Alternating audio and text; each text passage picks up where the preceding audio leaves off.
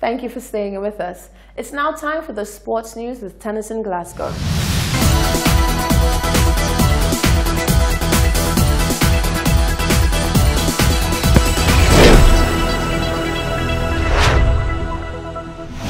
In tonight's sports news, uh, Kipchoge and Muhammad named Athletes of the Year. Levern Spencer gets top UK full-time coach. And in domestic football, RYO crowned. We start off tonight's sports with athletics. Eliud Kipchoge and Dalilah Muhammad have been named World Athletes Male and Female Athletes of the Year. Kenya's Kipchoge, 35, won the London Marathon for a fourth time in April before becoming the first athlete to run a marathon in under two hours. The Kenyan Olympic champion clocked 1 hour, 59 minutes and 40 seconds over the 26.2 miles distance, though the record is unofficial because he used rotating pacemakers. Muhammad, meanwhile, broke her own world mark of 52.16 seconds in winning her specialty 400-meter hurdles at the World Championships in Doha in October.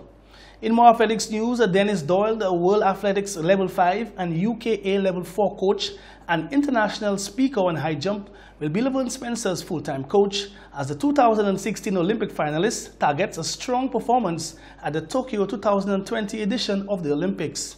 Spencer, a two-time Pan Am Games champion and Commonwealth Games gold medalist, will be 36 years old when the Games roll around between 24th of July and the 9th of August.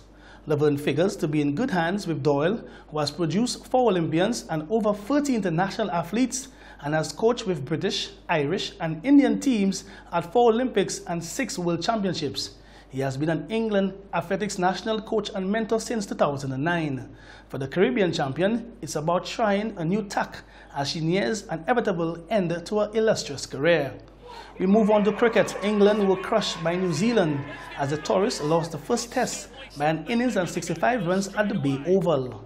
Resuming on 55 for free, England needed to bat through the day to save the test, but were bowled out for 197 with 21.4 overs remaining at Mount Maunganui. Joe Denly made 35 from 142 balls and Ben Stokes 28 from 84, but no batsman could produce a defining innings. Pace bowler Neil Wagner took a superb 5 for 44 and Mitchell Santner 5 for 53 as the Black Caps secured a 1-0 series lead. The second and final test is on Thursday.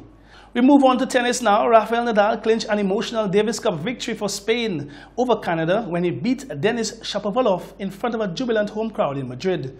His 6-3, 7-6 win sealed the title, with Roberto Bautista Agut returning to the team three days after his father's death to put the hosts 1-0 up. Bautista Agut was in tears after beating 19-year-old Felix Auger-Aliassime 7-6, 6-3 in the opener. Nadal's win gave Spain an unassailable 2-0 lead and a sixth Davis Cup title. Veterans football now, match day 7 and 8 were completed over the weekend in the Veteran in Sports Inc. 2019-2020 season. On Saturday, 23rd November, Ansley and VSCDC shed the spoils with a 1-0 draw. All Blacks of Dennery and Flow Lancers FC also shared the spoils with a nil-all draw, whilst Carica Masters proved their worth with a disciplined performance outdoing Vieux North 2-0. On Sunday, 24th November, in a major upset, Canaries defeated reigning League Gold Cup champions Micoud, two goals to one, and in another upset, Monipour Sharks defeated top team Labowie Connections 2-0. Match day 8 was capped off with Gros Islet runaway winners over Choiseul 5 goals to 2. Finally, youth football on Sunday, November 24th, the Mabouya Valley Football League drew the curtains on the 2019 domestic season with the third place playoff and finals of the GK Insurance Mabouya Valley Under 19 football tournament in a very entertaining style. In the third place playoff contested between Chester Sports Club and Survivors FC, Survivors FC defeated Chester's Sports Club 3 goals to nil and captured the third place honours. Meanwhile, in the finals, Rovers United battled Richmond Youth Organization RYO and left it late till the 82nd minute in what was a keenly contested encounter to edge Rovers United 1-0 and capture their first GK Insurance Mabouya Valley Youth title. Rovers United falling short once again, having lost last year's finals to Togetherness Youth. That's how we end tonight's sports.